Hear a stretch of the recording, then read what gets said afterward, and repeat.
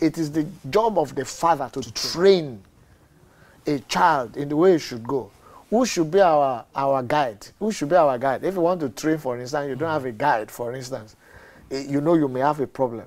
But Jesus said in the book of John, chapter 5, verse 19, He said, As I see my father do, Right. so I do. Yeah. So your training is showing your children how they should behave. It's not in it's not in too much instruction. We are too much in the world of instructions. Too much noise. it should be much about watch me as I do and do the same thing. But how many fathers can say that to their children? Mm, mm, mm. Wow.